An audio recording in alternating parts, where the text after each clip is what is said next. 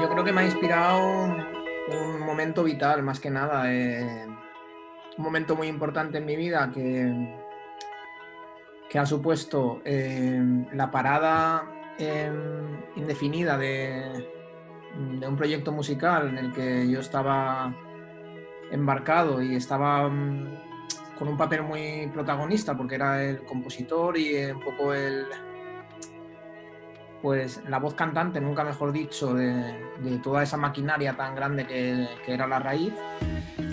Y es el inicio de, un proyecto más personal, que, que a priori eh, puede parecer un, proyecto más, más tranquilo, pero que al final se ha convertido también en un proyecto grande. Lo que pasa que, que bueno, eh, no es lo mismo manejarlo a solas que eh, manejar una maquinaria con 11 personas. Entonces, eh, me inspiro en un momento vital que, es muy complejo, pero también es ilusionante. Es complejo porque, porque dejas una cosa de lado ¿no? y rompes con algo.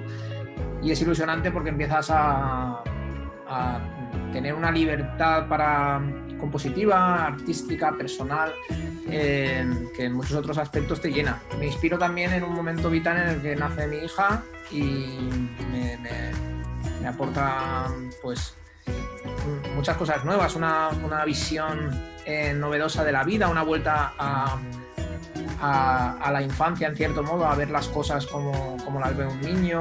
Me inspiro también en mucha lectura que he tenido.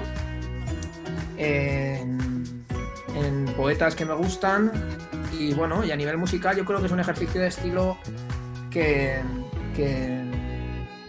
representa un poco las fuentes de las que he bebido durante casi 40 años. Entonces, eh, no sé, no, no, te diría que me ha inspirado en nada concreto, pero sí que ha envuelto todo este proyecto, eh, pues un montón de cosas que, y de influencias que tienen que ver con mi momento vital o con mi vida musical.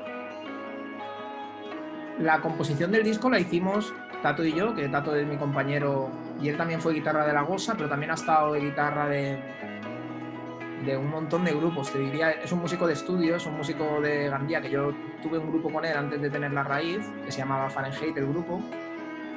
Y es un amigo mío desde pequeñitos, que los dos nos gustaba la guitarra, él toca muchísimo mejor que yo, toca como los dioses. Y bueno, él se fue a Madrid a vivir, un músico de estudio, a tocar con un montón de gente, ha tocado desde, o sea, ha hecho giras con Manuel Carrasco, con Nacho Cano, con Rosana, pero luego también ha venido aquí a tocar con La Gosa, Xavi Sarriás, Pencat, eh, y bueno, hay muchísimos grupos más, ¿eh?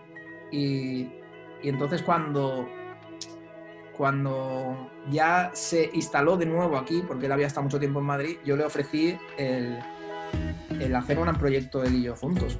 Y yo aún estaba acabando con la raíz, y ya se lo dije, y le dije, tío, lo próximo me gustaría hacer algo personal, contigo.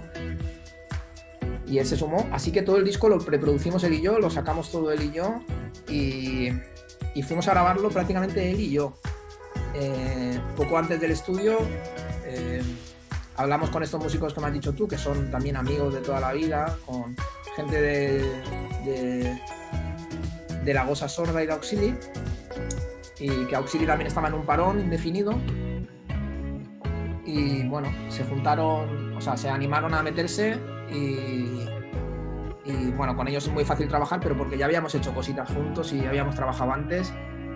De hecho, el bajista que es Jordi también estaba en, en aquel grupo Fahrenheit que te he dicho, antes de estar en la Gosa.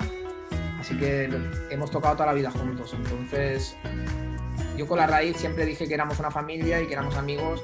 Y con estos es verdad que también son muy amigos desde jóvenes y sigue siendo una familia. Vais a ver una banda muy buena, muy, muy potente y va a sonar muy cañón en los directos, pero no, no va a generar este tipo de energías que te he dicho antes. ¿no? Entonces, creo que la gente va a ver otra cosa, va a ver un show bien ensayado, bien ejecutado y, y bueno, pues a lo mejor van a ver eh, un Pablo Sánchez que no es el mismo que el de la raíz, ¿no? Por decirlo así, por darte alguna pista un poco más, más calificadora.